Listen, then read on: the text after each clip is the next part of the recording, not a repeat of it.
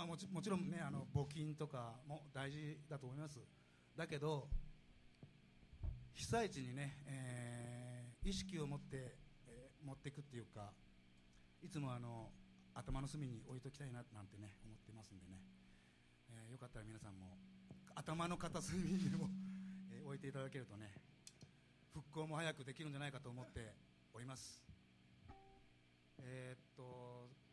なんか CD いたいいねお願いします